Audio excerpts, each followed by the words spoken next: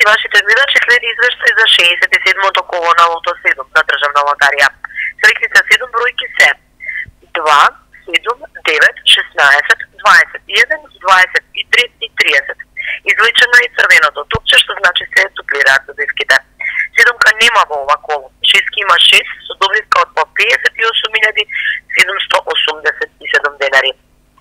Фондот за седомка за следното коло изнесува 7 милиони 563 денари.